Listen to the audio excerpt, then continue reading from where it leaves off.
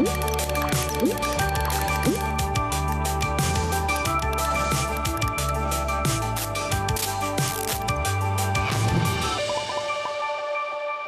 Witam Państwa serdecznie. Aleksandra Zarzycka, czas na prognozę pogody, a ta cały czas nas zaskakuje i dynamicznie się zmienia. Opadów deszczu spodziewamy się dziś w części południowo-wschodniej. Tu pojawią się także wyładowania atmosferyczne.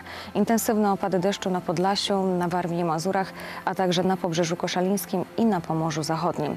Termometry pokażą nieco niższe wartości od 14 stopni na południu Polski do 18 stopni na północnym wschodzie. Sprawdźmy prognozę pogody dla naszego kontynentu.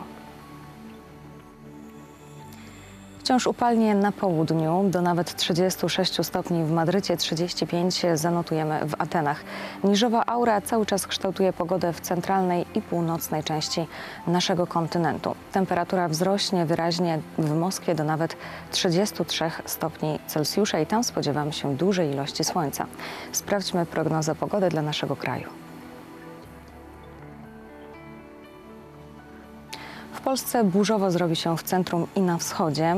Te burze pojawią się zwłaszcza w godzinach popołudniowych i będą towarzyszyły im dość intensywne opady deszczu, a także porywisty i silny wiatr. Nieco spokojniej na Warmii i Mazurach, Pomorzu Gdańskim, w Wielkopolsce i na Dolnym Śląsku. Tam duża ilość słońca bez opadów deszczu. Deszczowo zrobi się natomiast również na ziemi lubuskiej, tu do 27 stopni Celsjusza. Wartości na barometrach wciąż niskie, 1016 hektopaskali. Sprawdźmy kolejne dni. W poniedziałek burze pojawią się na północy, z centrum, a także południe ze spokojną, pogodną aurą. Termometry maksymalnie będą pokazywały do 28 stopni. We wtorek ochłodzenie na Pomorzu, do 20 stopni spadnie tam temperatura, natomiast upalnie w centralnej części naszego kraju do nawet 32 stopni.